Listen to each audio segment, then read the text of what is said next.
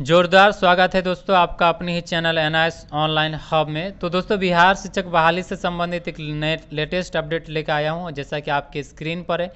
और मैंने आपसे वादा भी किया था कि एक भी न्यूज़ और एक भी लेटर जो कि शिक्षा विभाग की तरफ़ से जारी होगा, या शिक्षक भर्ती से अपडेट पाने के लिए चैनल पर बने रहे।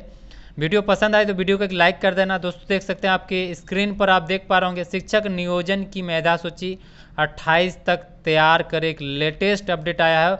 और जैसा कि आपको पता चल चुका है दोस्तों, ये कैंप में पूरी तरह जो है बहाली होने जा रही है।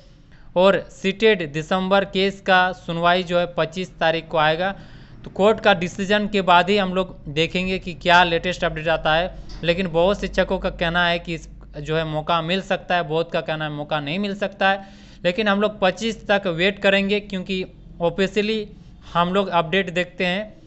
आइए इस खबर से रूबरू होते हैं। इस खबर में कहा गया है कि चुनाव खत्म होने के बाद नई सरकार के गठन होते ही लगभग सभी विभागों में रुकी काम पटरी पर लौटने लगी है। शिक्षा विभाग में शिक्षक नियोजन कार्य में तेज़ी लाने का आदेश डीओ मनोज कुमार ने सभी वीडियो को दिया है। विभागीय सूत्र के अनुसार, शिक्षक नियोजन 19-20 के अंतर्गत प्राथमिक व उच्च माध्यमिक मिडिल स्कूल के शिक्षक पद की अभ्यर्थियों की मेधा सूची 9 दिसंबर तक एनआईसी की वेबसाइट पर अपलोड करने का कहा है। तो दोस्तों, यहाँ पर देख सकते हैं प्रिंट मिस्टेक लिखा होगा। एनआईसी लानंदा लिख दिया है यहाँ पर। देख सकते हैं, यानी ये जो अपडेट आया है, वो जो है एनआईसी पोर्टल पर अपलोड करने का कहा है। सिर्फ़ एनआईसी पोर्टल पर, यानी जिस भी जिला का है, उस पर जो है जारी करने को कहा है। तो एक लेटेस्ट और ब्रेकिंग न्यूज़ जैसे कि आपको शिक्षा विभाग और बिहार शिक्षक बहाली से संबंधित तमाम जानकारी मिल रही है तो चैनल पर जुड़े रहे।